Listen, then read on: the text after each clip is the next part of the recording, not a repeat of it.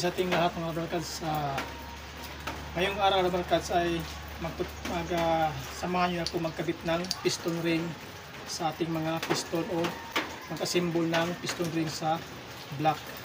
Ang una natin gagawin na barkads ay una ay magkabit tayo ng piston. Hindi naman tayo maliligaw na barkads kasi mayroong mga marka yung mga piston natin. Mayroong top ring, merong second ring at saka merong oil ring. Hindi man pwede magkapalit-palit yan kasi pag hindi naman papasok yan dito sa loob. Ang una natin gagawin na barkads ay lagyan natin ng langis itong piston sleeve para maganda yung pasok ng piston at hindi tayo mahirapan. At uh, unan yung uh, para hindi kayo mahirapan na barkads ay tuturo kayo yung settings niya. Ang una yung ikabit na barkads ay itong strainer niya sa oil ring. Wag na wag niyo iuna yung isa kasi hindi hindi papasok yan doon sa loob. Ikabit nyo dito ng ganyan. Tapos isunod nyo yung dalawang piston na manipis.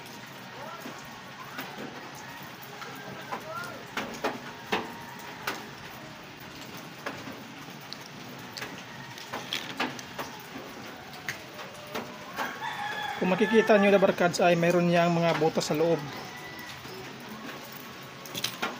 Mayroon niyang mga butas. Dito nyo iharap yung piston, yung manipis dito sa kanto na to.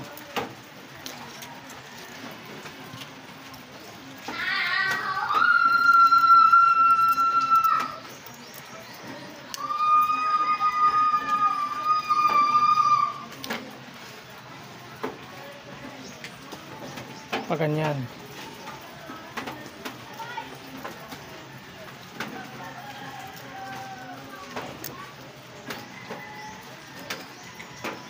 ganyan. Ganyan siya. Ang isa naman ay dito sa kabila. Dito. Pa ganyan lang yung pasok niyan. Para hindi kayo mahirapan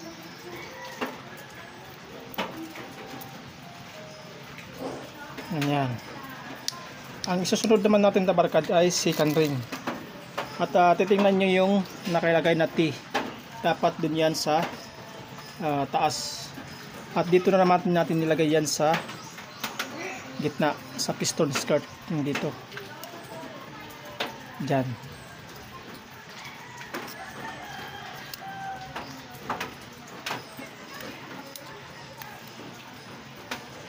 Ganyan. Ang top ring na barkads ay meron siyang letter T. Yan. Dito siya sa kabila. Magka harap sila. Dito yung isa. Dito naman sa kabila yung isa. Ito yung top ring.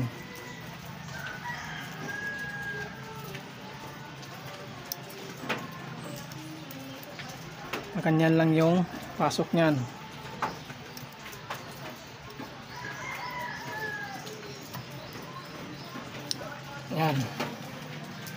Pag install nyo mga rubber cards ay dapat yung araw na to yan yung araw na yan. Doon yan sa harap mismo ng ating makina. Kasi ito yung harap. Ito yung harap. Yun ang susundan natin. Pag ganyan yung pasok nyan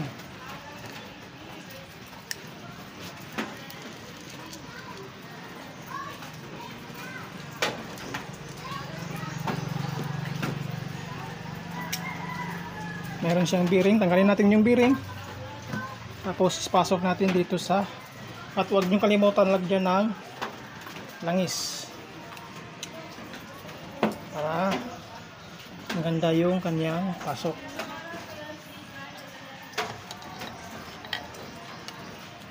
Tingnan nyo kaharap yung aro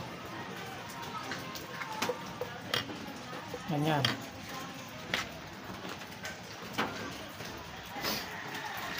At subukan natin ipasok. Kailangan mayroon kayong ganito. Kasi pag wala kayong ganito, ay hindi nyo maipasok yung piston sa loob.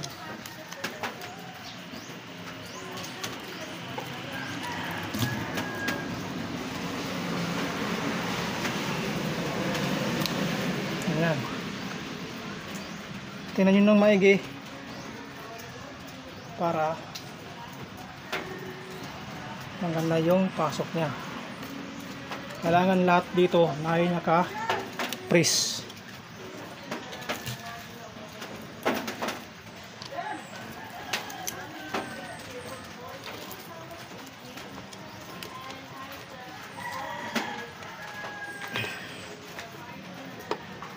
Kung mapapansin nyo ay okay na siya. Ngayon,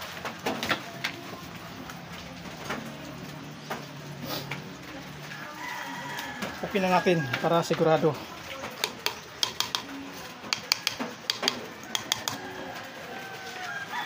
Dahan-dahan lang.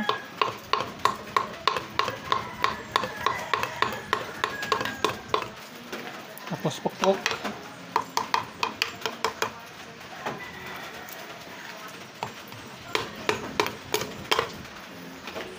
Tanya na barkads. At dito sa harap, iharap natin yung ano, itong makina.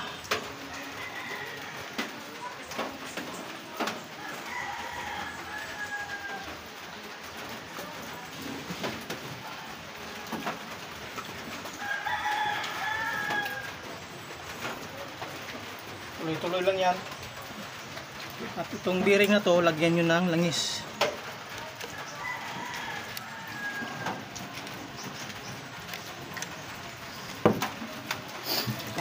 Pukpok para hawakan yung dito sa dulo para hindi masayad yung kanyang bolt.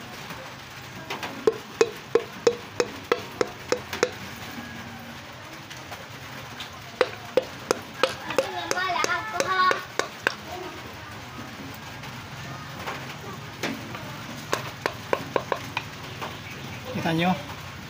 Pasok na siya. At lagay na natin yung bearing. Yung bearing niya. Nyo ng kunting langis.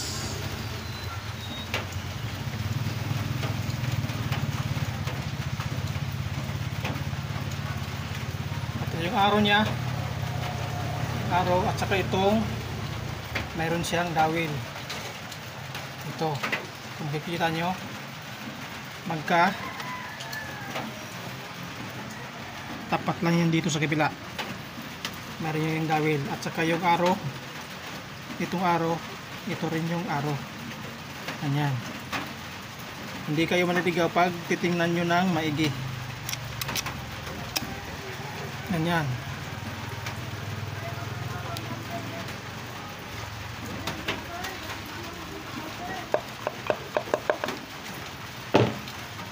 Tingnan nyo. At saka yung kanyang nut.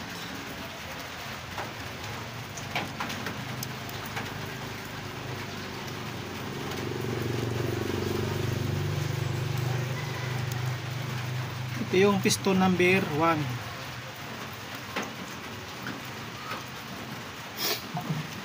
Kita natin ng bahagya.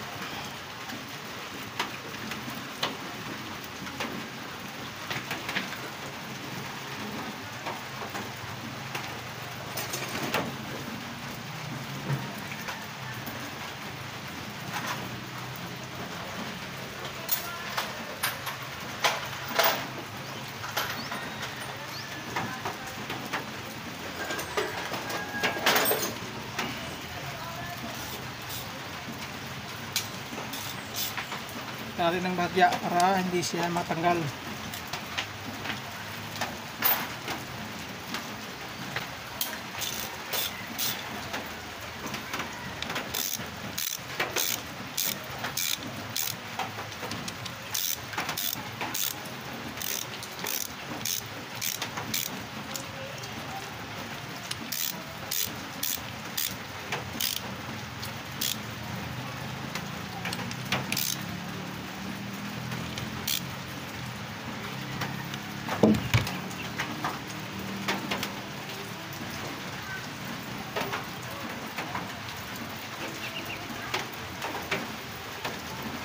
natin kung maganda ba yung ikot niya hindi na masyado kasi masikip yung kamay ko maganda yung ikot niya yan. Uh, ikot nyo. Yan yung araw. Yan. Yan yan lang mga pagkabit ng piston piston ah, assembly sa ating mga ah, engine mga dabarkal sa i- tuloy-tuloy lang yan hanggang sa maubos lahat tong piston number 1, 2, 3 ganyan lang yung procedure niyan sa pagpasok ng piston sa loob ng ating block. Pas, uh, ipalod nyo lang yung mga ah, araw at saka hindi kayo maliligaw at ah, sigurado kayo ah, sigurado, sigurado barkas na maayos yung pag-install no pag-assemble nyo ng piston assembly sa inyong mga block na barkads. At ah, ang binigay kong sikreto na lang natin ito mga barkads ang binigay kong gap sa ating piston ay number 10 kasi yung dati niya na barkang piston ay umabot na sa 60, ta- 65 mm yung ah, ah, gap niya. Kaya malakas na yung usok niya. Ngayon na barkads ay hindi tayo ah, hindi natin sinunod yung standard niya kasi standard ang nakalagay sa piston kasi malaki na yung gap niya sa between ah, piston at saka sa, sa cylinder sleeve kaya nag ah, kabit tayo ng oversize na piston at ah, ah, nilihan na natin para makuha natin yung magandang ah, sukat ng piston. Ah, 15 to mm, ah, 10 to 15 na mm na barkads ay walang, wala, walang problema dyan barkads. Yan, yan- yan lang ang pagkabit ng piston na barkads sa ating mga makina. Sundan nyo lang yung pagkabit at ah, sigurado at hindi kayo maliligaw na barkads. At sa mga bago ka lang sa channel, ah, sana mag-subscribe at ah, mag-like at ah, comment down below sa ating ah, YouTube channel Cardo Mecanico, at ah, hanggang sa muli na barkads at ah, sundan nyo lang yung pagkabit ng piston at ma makukuha rin nyo yan at ah, thank you sa inyong panonood at the barkads at don't be apart. Chinchir.